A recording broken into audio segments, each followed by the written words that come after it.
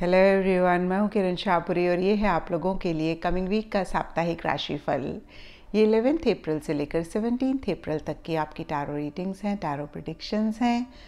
और अभी करेंटली मैं आउट ऑफ़ कंट्री हूँ, मैं कनाडा में हूँ। तो अगर आप पर्सनल सेशन बुक कराना चाहते हैं या फिर किसी भी रीज़न की वजह से मुझे कांटेक्ट करना चाहते हैं तो आप अगर व्हाट्सएप मैसेज या फिर व्हाट्सएप कॉल करेंगे तो बेहतर रहेगा, क्योंकि नॉर्मल कॉल हो सकता है मिस हो जाए। और देखिए, जवाब देने में थोड़ा सा डिले हो सकता है, क्योंकि यहाँ पे दिन रात का फ़र्क है। लेकिन अगर आप अगेन मैं कहूँगी व्हाट्सएप कॉल या फिर व्हाट्सएप मैसेज मुझे करेंगे तो डेफिनेटली आपको जवाब मिलेगा। एंड इसी के साथ साथ अगर आप डेली टारो रीडिंग में इंटरेस्टेड हैं तो आप मेरा इंस्टा पेज भी विज़िट कर सकते हैं, जिसका लिंक आपको नीचे डिस्क्रिप्शन बॉक्स में मिल जाएगा। और दूसरी बात, इस रीडिंग को आप किसी भी साइन के हिसाब से देख सकते हैं। Sun sign moon sign ascendant या फिर नाम के हिसाब से भी राशियाँ होती हैं, उसके अकॉर्डिंग भी आप इस रीडिंग को देख सकते हैं। और अगर आप मुझसे पूछेंगे तो मैं आपको यही कहूँगी कि जिस साइन को आप अभी तक फॉलो करते आ रहे हैं या फिर जिस साइन के हिसाब से आप अभी तक अपनी रीडिंग्स को देखते आ रहे हैं, सुनते आ रहे हैं, आप उसी साइन के हिसाब से इस रीडिंग को देखें। तो चलिए जी, शुरू करते हैं कमिंग वीक का साप्ताहिक राशिफल। तो चलिए स्कॉर्पियोज आप लोगों के लिए देखें कि कमिंग वीक क्या लेकर आ रहा है, क्या एनर्जीज हैं। तो प्रोफेशनल फ्रेंड के लिए आप लोगों के लिए कार्ड्स हैं nine of swords and great power और देखिए नाइन ऑफ़ सोट्स का कार्ड किसी चीज़ को लेकर एक फ़िक्र करने की बात करता है, एक चिंता करने की बात करता है और कुछ ऐसा ही इन जनरल या फिर स्पेसिफिकली इस वीक आपके प्रोफेशनल फ्रंट में रहता हुआ दिख रहा है। और देखिए, सबसे पहली बात, इस चीज़ को सुन के आपने परेशान नहीं होना है, क्योंकि वीकली रीडिंग में बहुत बड़े मसले नहीं होते हैं। और दूसरी बात, देखिए नाइन ऑफ़ सोड्स जिस भी चिंता फ़िक्र की बात करता है, उसके लिए सबके लिए डिफरेंट रीजंस हो सकते हैं, लेकिन main reason negative thought process या फिर ओवर है। देखिए ओवर और हैप्पीनेस दो तलवारें हैं जो एक मयान में रह ही नहीं सकती। अगर आप खुश हैं तो आप यू you नो know, कभी भी पॉज करके अपनी चेकिंग करें। आप ओवर थिंक नहीं कर रहे होंगे या फिर आप ज़्यादा चीज़ों को लेकर नहीं सोच रहे होंगे। और जब आप ओवर थिंकिंग करते हैं तो आप खुश नहीं रह पाते हैं। तो देखिए इसी चीज़ को थोड़ा सा चेक करके करेक्ट करने की ज़रूरत है। और नीचे देखिए ग्रेट पावर का कार्ड कहीं विल पार डिटर्मिनेशन की बात करता है। और ऐसी भी एनर्जीज में रहने की ज़रूरत है। देखिए, कैसे होता है ना, जब हम बच्चे थे या फिर आप करेंटली भी बच्चों को देख लें, पूरे साल पढ़ाई करते हैं, फिर भी स्कूल वाले एग्ज़ाम्स लेते हैं। तो भाई अगर पूरे साल पढ़ाई करी है, स्कूल भी अटेंड किया है तो एग्ज़ाम्स की क्या ज़रूरत है? लेकिन वो एग्ज़ाम्स इसलिए लेते हैं क्योंकि वो जानना चाहते हैं कि पढ़ाई करने के बावजूद आपको आता कितना है। ऐसे ही ज़िंदगी भी हमारे इम्तिहान लेती है, ज़िंदगी भी हमारा टेस्ट लेती है। लेकिन अगर हमने अपना एफर्ट हंड्रेड परसेंट दिया है, हमारी नीयत, हमारी इंटेंशंस हमेशा से साफ़ रही हैं तो देखिए बियॉन्ड द पॉइंट हमें डरने की ज़रूरत नहीं है।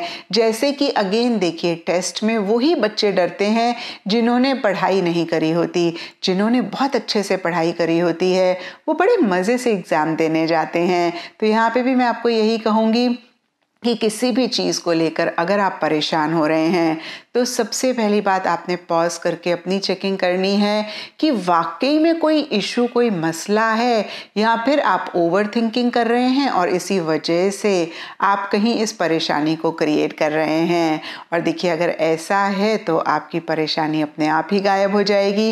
और अगर वाकई में एक परेशानी आप महसूस कर रहे हैं तो देखिए, आप अपना एफर्ट करें। आप जो भी कर सकते हैं, उसी चीज़ को अपनी लाइफ से दूर करने के लिए उस पर आप काम करें और बियॉन्ड द पॉइंट देखिए आप सोचें ना आप खुद पे फेथ करें आप यूनिवर्स पे फेथ करें और देखिए अपनी नीयत अपनी यू नो इंटेंशंस को और ज़्यादा आप क्लियर कर लें।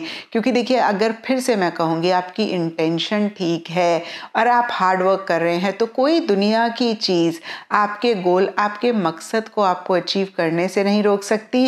और अगर यू you नो know, आप अपना हंड्रेड परसेंट नहीं दे रहे हैं या फिर आपकी इंटेंशंस क्लियर नहीं हैं तो ऐसा पॉसिबल है। और अगर ऐसा आप पाएँ तो इस चीज़ को चेक करके करेक्ट करें, बजाय इसके कि आप टेंशन करें या फिर आप फ़िक्र करें।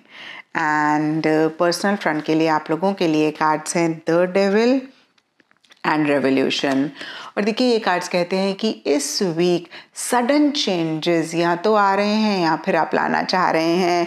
यानी कि किसी चीज़ की आपने उम्मीद नहीं करी थी किसी चीज़ को आपने एक्सपेक्ट नहीं करा था। या तो वो हो रही है या फिर यू you नो know, ऐसा आप ही अनोइंगली अनइंटेंशनली कर रहे हैं। और कहीं इसी वजह से यहाँ पे डेविल का कार्ड कहता है कि एक स्ट्रेस एक टेंशन भी आप महसूस कर रहे हैं। जो भी आप अपनी लाइफ के लिए चाह रहे हैं कहीं उसी से ही रिलेटेड बहुत एक ऑब्सेसिव बहुत एक पॉजिटिव सी एनर्जीज हो सकती हैं। और देखिए फिर से मैं कहूँगी कि थोड़ा थोड़ा यहाँ पे सबके लिए डिफ़र करेगा। कुछ लोगों के लिए रिलेशनशिप से रिलेटेड एक ऑब्सेसिव सी एनर्जीज हो सकती हैं। कुछ लोगों के लिए कोई मटेरियलिस्टिक चीज़ हो सकती है। पैसा हो सकता है घर हो सकता है गाड़ी हो सकती है ज्वेलरी हो सकती है। फिर से मैं कहूँगी कि कोई भी चीज़ हो सकती है जिसके लिए बहुत यू you नो know, एक डिज़ायर्स आप महसूस कर रहे हैं, जिसके लिए बहुत एक चाहत आप महसूस कर रहे हैं और कहीं साथ ही साथ एक ऑब्सेसिव एक पॉजिटिव से भी एनर्जीज आप महसूस कर रहे हैं। और देखिए, यहाँ पे भी स्कॉर्पियोज में आपको यही कहूँगी कि जो भी आप पाना चाहते हैं, उसके लिए आप अपना पूरा एफर्ट दें। जो भी आप कर सकते हैं, उसको करें। जो नहीं कर सकते हैं, उसको लेट गो करें। यूनिवर्स पे फेथ रखें सरेंडर मोड में रहें और आउटकम से आप बहुत ज़्यादा अटैच ना हों। क्योंकि देखिए, जब भी भी हम आउटकम से अटैच होते हैं तभी हम परेशान होते हैं। तो फिर से देखिए, अपना बेस्ट दें यूनिवर्स पे फेथ रखें। डेफिनेटली जो आप चाहते हैं, वो आपको मिलेगा। और पॉइंट वन परसेंट अगर नहीं मिलता है तो उसमें भी बहुत बड़ी आपकी कोई भलाई है। इस चीज़ पे फेथ रखते हुए ही आप चीज़ों को डील करें। एंड गाइडेंस से आप लोगों के लिए वॉयड ऑफ़ कोर्स मून का कार्ड है। और ये कार्ड कहता है nothing will come out of this situation तो देखिए, बहुत ही क्लियर मैसेज है। कि जो भी इस वीक अच्छा या बुरा आपकी लाइफ में हो रहा है, उसमें से कुछ कॉन्क्रीट नहीं निकलने वाला है। और देखिए, आपके लिए यहाँ पे दोनों ही नेगेटिव कार्ड्स हैं और ये कार्ड्स बहुत ही क्लियरली कह रहे हैं कि आप फ़िक्र कर रहे हैं, एक नेगेटिव फ्रेम ऑफ़ माइंड में हैं, एक नेगेटिव एनर्जी है। तो देखिए, बहुत ही क्लियरली अगेन गाइडेंस का कार्ड कह रहा है कि जिस भी चीज़ को लेकर आप फ़िक्र कर रहे हैं, उसमें से कुछ भी नहीं निकलने वाला है। तो आपको मैं फिर से कहूँगी कि इस फ़िक्र को आप ज़रूर लेट गो करें। एंड एस्ट्रोलॉजी से आप लोगों के लिए जेमिनी साइन का कार्ड है और इसके हिसाब से ऑल शेड्स ऑफ़ ग्रीन आप लोगों के लिए इस वीक लकी रह सकते हैं। एंड सिग्निफिकेंट डे आप लोगों के लिए होगा वेडनेसडे तो ये था स्कॉर्पियोज आप लोगों के लिए कमिंग वीक का साप्ताहिक राशिफल और नीचे मुझे कमेंट सेक्शन पे ज़रूर बताएँ कि ये कितना आपके साथ रेजोनेट किया। कितना आप कनेक्ट कर पाए?